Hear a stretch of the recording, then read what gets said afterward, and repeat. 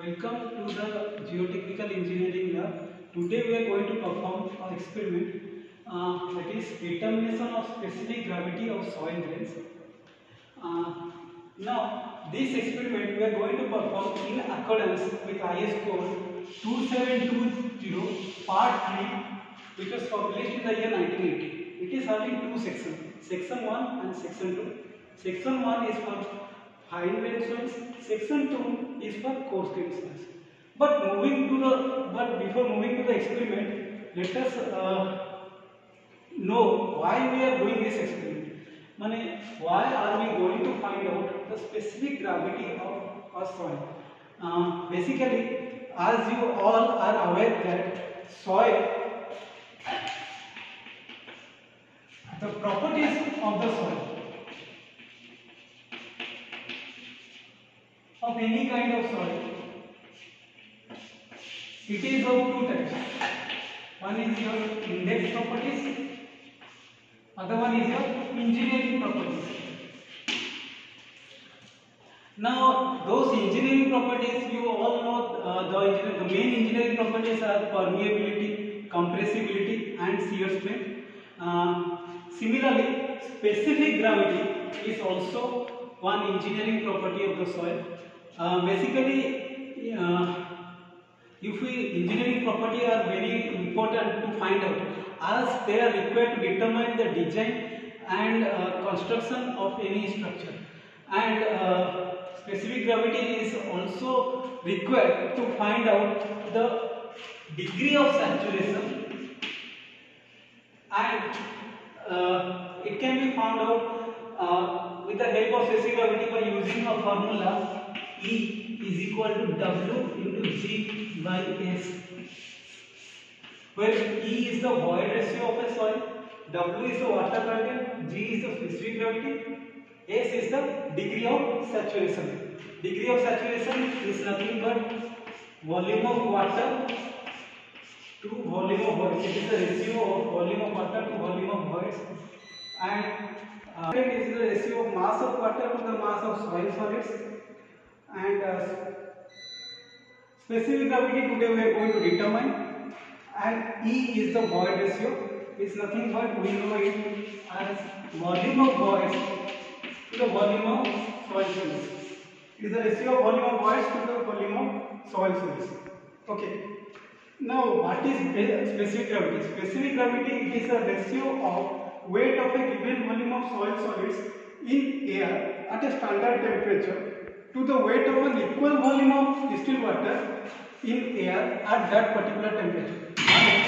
Here we are getting that specific gravity is the weight of a given volume of soil solids weight of a given volume of soil solids Ws divided by WW weight of the given volume of soil solids to the ratio weight of given volume of water at same temperature and both are having same volume. So if we divide them by volume Ws by volume of the solid in numerator and denominator WW weight of water by volume of solid. As we are aware of the fact that while determining the specific gravity, we are having same volume of water as well as solids. The volume in both the cases is same. So we can write it as Ws by Ds or WW by VW. Since volume of water is equal to volume of solids. Volume of water is equal to volume of solids. Now weight of solid, the ratio of weight of solid by volume of solid, it is nothing but unit weight of solid, gamma s. Weight of water by volume of water is nothing but unit weight of water, gamma s by gamma w. So these are the two formula. This is formula number one, and this is your formula number two which are helpful in determining the specific gravity. Uh, start okay. Specific gravity of a soil in lab can be determined by using three methods. Uh, first one is density bottle method. second one experiment is pycnometer method and third experiment by which you can determine the specific gravity is by using your flask. Now those two things, pycnometer method and using flask, uh, those two methods are useful while we are determining the specific gravity of coarse grained soil. But uh, if we want to determine the specific gravity of any type of soil, whether it may be coarse grain, coarse grain or fine grain, then we are going to take the help of density bottle method.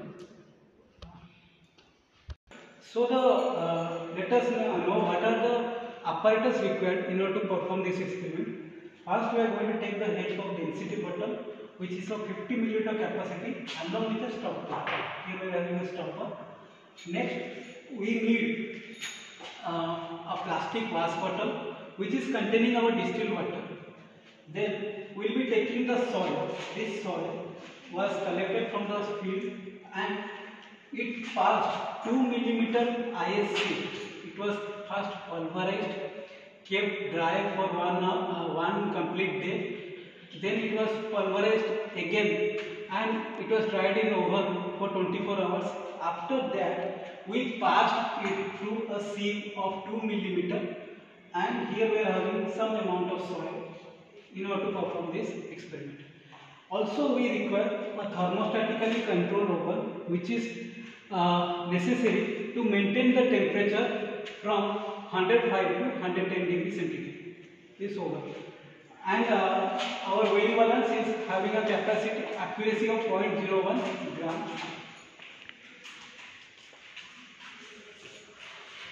to perform this test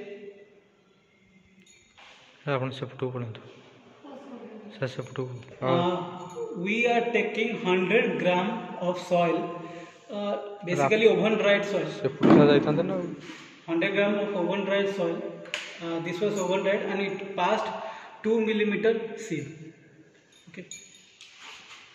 One, two, three, start.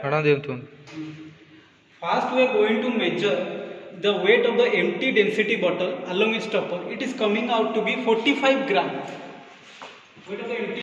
Next, we are going to measure uh, the weight of the density bottle along with some amount of soil. We are taking the soil in the density bottle. Around 20 to 30 grams we take.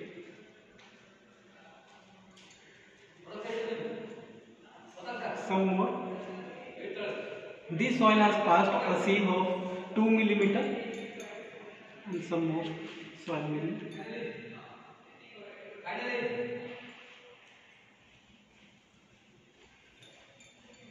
Ah, this one. density bottle along with soil. It is coming out to be 75 gram. It, it, it has a- it has a- some distilled water to this density bottle containing soil. First, we'll be just soaking it to its upper limit so that the soil gets fully soaked. We'll be will be shaking the density bottle for some time in order to remove any air voids present in the soil. Then we'll be adding some amount of water. This much man. will be adding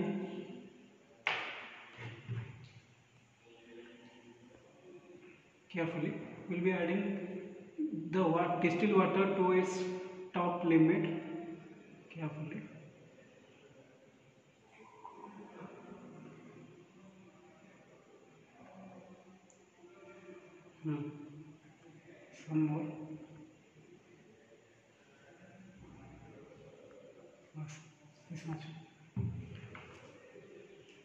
Now we'll be keeping it in the constant temperature water bath at temperature. Keeping the density bottle in the constant temperature water bath which is maintained at a standard temperature of 27 degree centigrade. You can come and see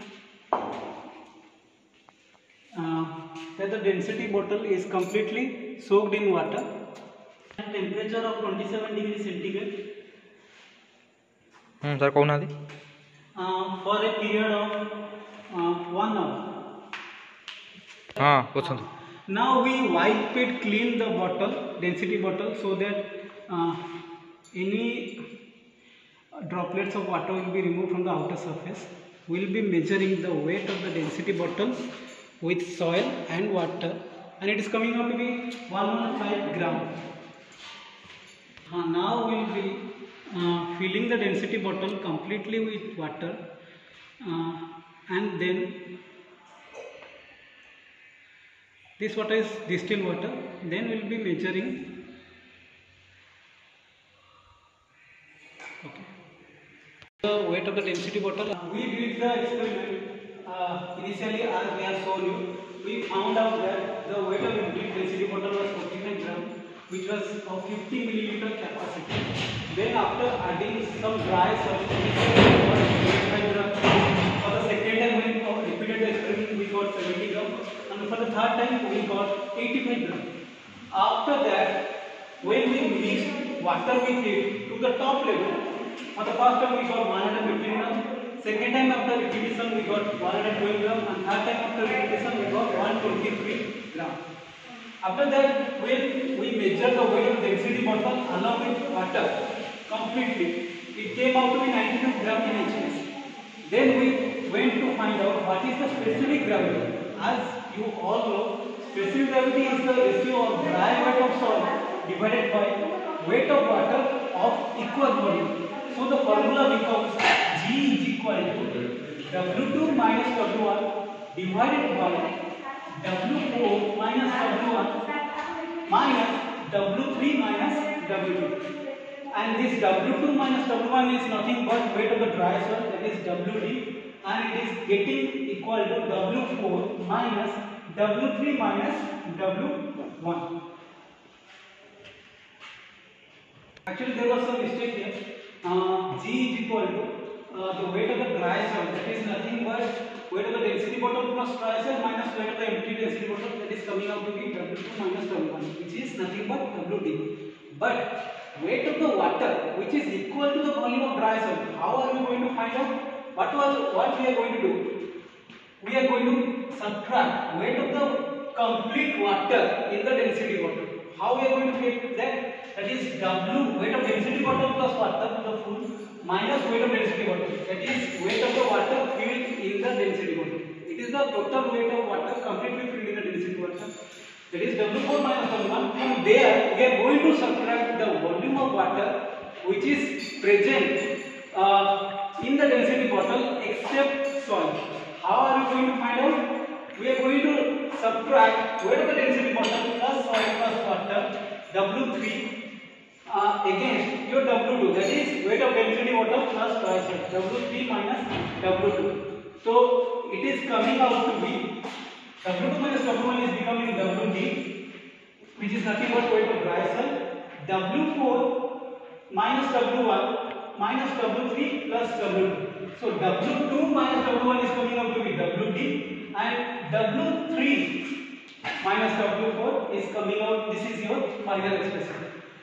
Uh, so by this formula of specific gravity, we are finding out three separate values for three different type time we have taken the experiment. We have done the experiment, and if we have to determine the specific gravity of the soil taken, then we will be taking the average of these three values 3, 3.125, 3.333 and hence we find out the specific gravity of the soil is G is equal to 3.153.